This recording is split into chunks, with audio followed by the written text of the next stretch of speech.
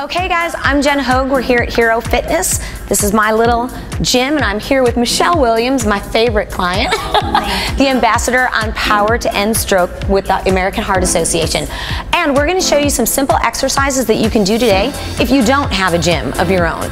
If you've just got your living room or maybe a hotel room or just, you know, the corner of your office when you wanna take a 10 minute break to kind of recharge your batteries in the middle of your workday. These are three great exercises that are gonna really work some trouble spots for people. So we're gonna do a wall squat. These are tricky.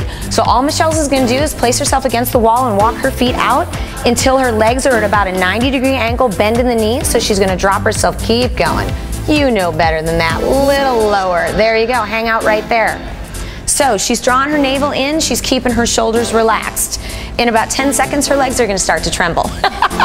in theory, you just wanna hold this as long as you can.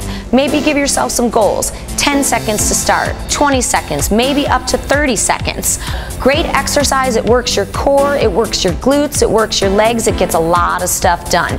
If you're feeling bored, you can put your hands at your sides and add an isometric bicep curl, just squeezing that bicep muscle. So now you're getting lower body and upper body all together. One and done. Good job, girl. Come on up. Thank you.